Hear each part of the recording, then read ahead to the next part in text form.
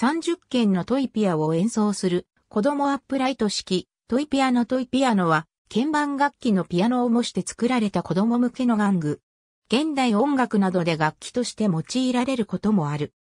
1872年にフィラデルフィアでドイツからの移住者アルバート・シェンハットによって開発された。大きさはピアノより小さく、外枠はプラスチック製あるいは木製。ピアノは弦をハンマーで叩いて音が出るが、トイピアノは弦ではなく金属棒または金属管が用いられる。ハンマーは鍵盤付きグロッケンシュピールと同じような仕組みで鍵盤とつながっていて金属独特の輝きのある音色を出す。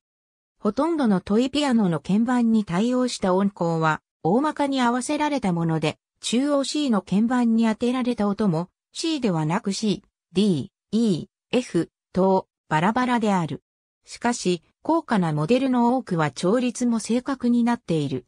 典型的なトイピアノの音域は1オクターブから3オクターブである。中には、ピアノの黒鍵にあたる鍵盤がなかったり、発鍵の上に黒鍵の絵が塗られているだけのものもあり、これらは全音階のみ総集る。これらの多くは発鍵で、音域は1オクターブだけである。そもそも、おもちゃとして考案されたトイピアノであったが、音楽作品に用いる試みもなされた。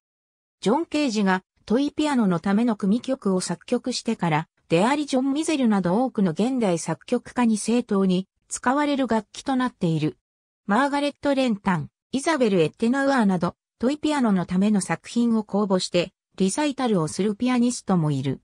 2006年頃から日本のテレビ CM でトイピアノが使われるようになった。